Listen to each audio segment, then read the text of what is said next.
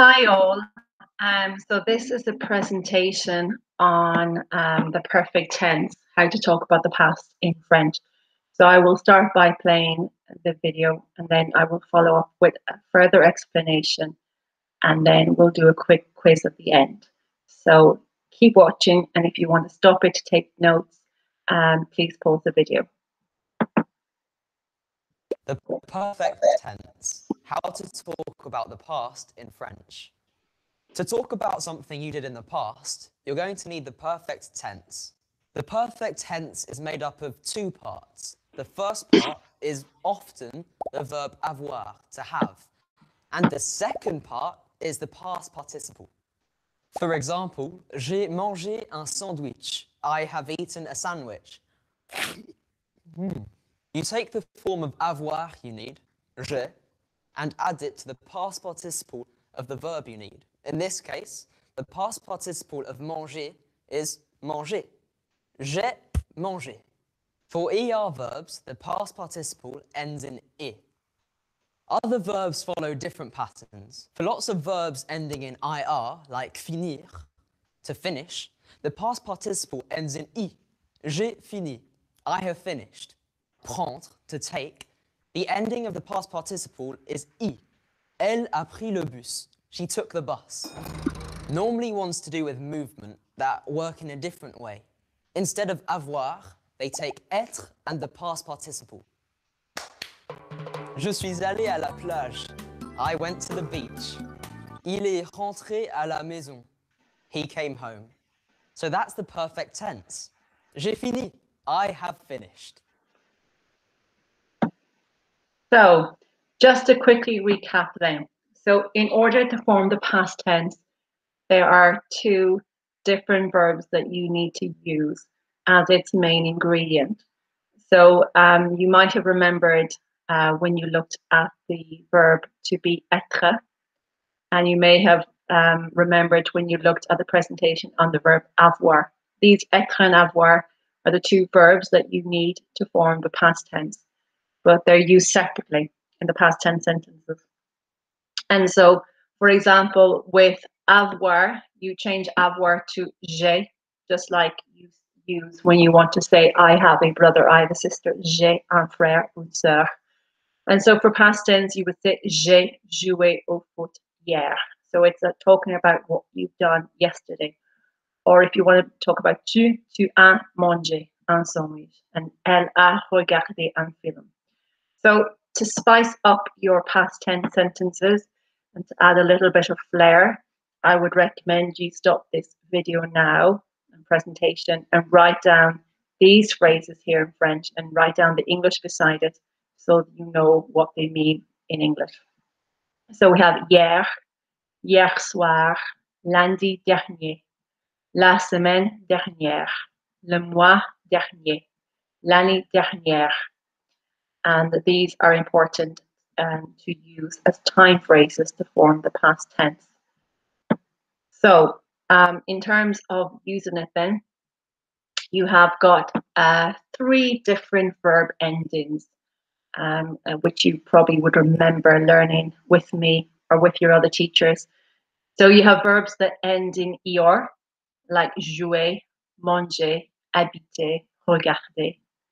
And you've got verbs that end in IR, not many. Uh, the ER verbs are the most popular and most important ones to learn. Uh, nonetheless, the IR verb endings are finir, choisir. So you would use this quite often when you tell me you have finished your work. J'ai fini, madame.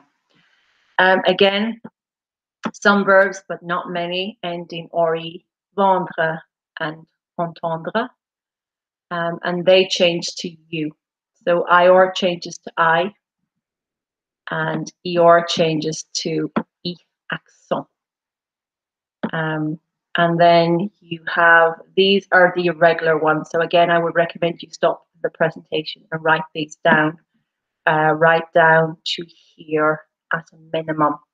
And these are examples. So we have to have, avoir, to be, être, été, to do, faire, drink, boire, to take, prendre, pris. Um, the most important ones here are the first three. So please do write them down. And so you have examples of passé composé, as I said, in my être presentation video webinar. Um, être is used with the Mrs. Vandertramp verbs, and these are the verbs that um, involve motion. Uh, jouer, to play, involves motion, but the idea is that you're not going to any destination as such. So we have je suis allé au supermarché. Tu es allé à Nottingham. Il est allé au parc. And these are motion verbs. And if you are female, you add an e.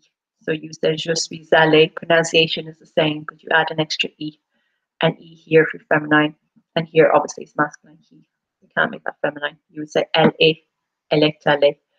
So, for example, these are the feminine. Je suis allé à Nice. Tu es allé en Espagne. And instead of il, you use elle.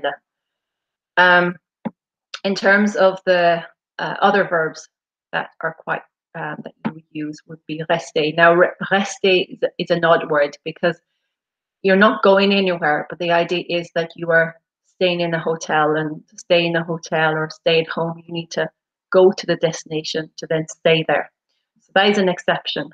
It doesn't follow a normal pattern, but you do conjugate it with je suis resté and sortir, sorti, and arriver, arriver.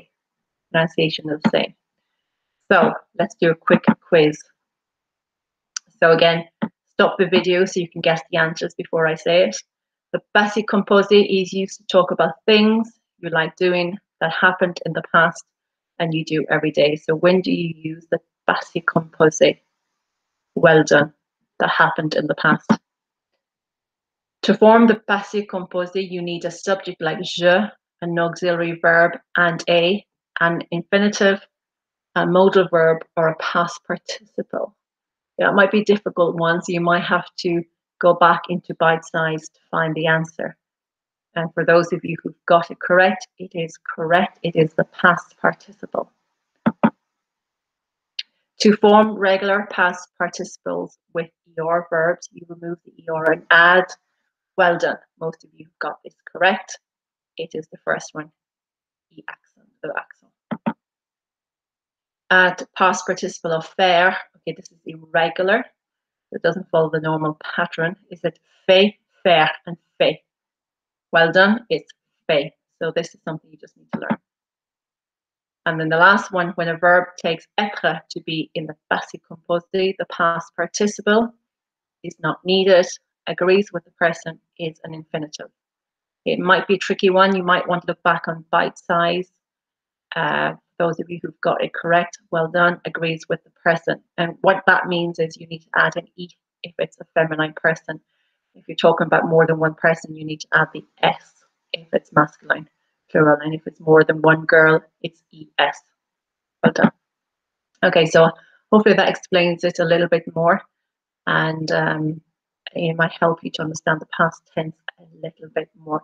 Um, have a lovely day and see you again soon. Bye.